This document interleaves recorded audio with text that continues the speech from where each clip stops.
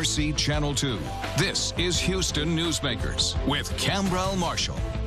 And welcome back to Houston Newsmakers, where I'm joined by Mica Mosbacher, the wife of the late former Secretary of Commerce Robert Mosbacher. Good morning. Thank you so much for being here. Good morning. I'm wearing my white race suit, so I speeded over here. Yep. Tried yep. not to get a ticket. We're glad that you were able to come here. This is a special week. Um, and a special day. I know that um, six years ago, when your husband died of pancreatic cancer, mm. and that really started a journey for you, did it not? That really kind of has led to this book, Racing Forward. Tell, how did we get to this point? Well, I wrote the book as a tribute to my late husband. And in talking with other widows who I'd met through the Pancreatic Cancer Action Network, mm -hmm. I recognized that we shared several things in common. We really didn't have a manual on how to grieve. And so I wanted to write a book that was a part memoir, but also was upbeat. And I wanted to be honest and share some of my emotions and some of my challenges, mm -hmm. such as feeling a loss a, and a paralysis, not being able to get out of bed, trying to motivate myself to do simple things like go to the grocery store or the bank. Right. Uh, the fact that I couldn't concentrate. And I felt like, you know, the only thing that's really going to help me is to kind of be more action oriented mm -hmm. and grieve forward. Right. So.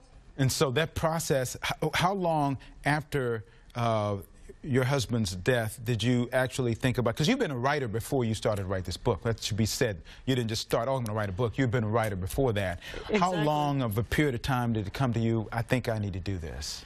It, uh, I would say about two years ago, I really began talking seriously about doing it, and I'd put some notes down, mm -hmm. and then I pitched it to a publisher. I thought nothing ventured, nothing gained. I'm out of my comfort zone, and they bought the book.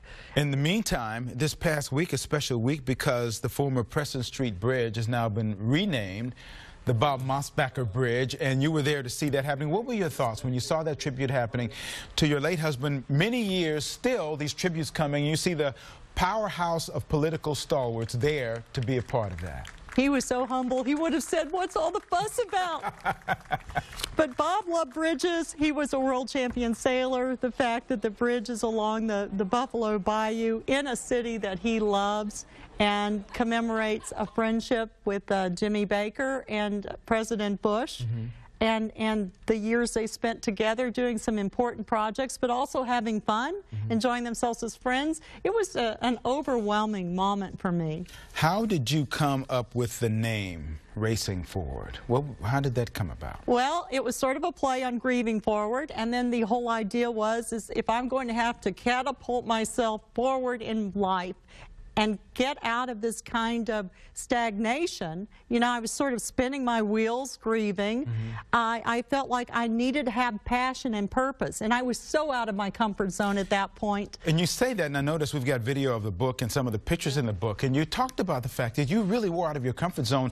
Having said that, you really open up. In that book, we can really be with you and feel the grief and the concern and the nervousness, and we can feel that in your book. So that, that, how challenging was it to let yourself pour on those pages like that? Well, it was cathartic at first, but after I turned in the final copy to the editor, which would have been uh, Christmas time last year, I got stage fright. I called the editor up and I said, you know what? I don't think I can put myself out here. I feel like the emperor wearing no clothes. And she kind of talked me off the ledge.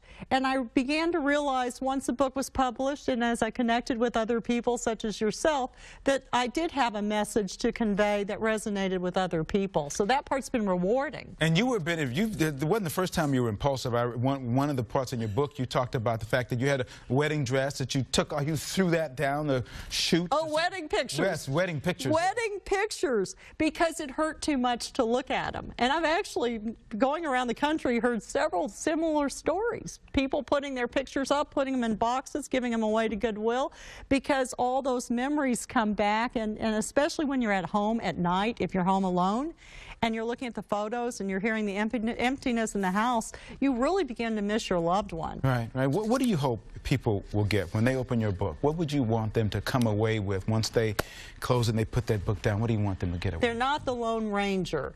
Uh, they're not suffering in silence. They aren't alone. And since they are out of their comfort zone, in my case, I took up uh, race car driving. But for someone else, maybe they've always wanted to paint or they've always wanted to learn a musical instrument. Life is short, and this is the time to go go at something that you have a passion for. And where, where can people find your book? Amazon.com and Barnes & Noble. Okay. We want people to do that. And the name of the book again? Racing Forward. Good deal. Well, I, I, had a chance to read that. I couldn't put it down, probably because I have a common thing with racing and just getting to know you and your husband, Bob, in a way that I would not have known otherwise. Thank you for coming in. Thank you so much. It. A pleasure. Good luck as you sell your book and you take your next steps in this life going forward, racing forward. Racing forward. well, we're going to take a look ahead to next week and a very tough to get special guest. I hope you'll join me. That's when Houston Newsmakers continues right after this.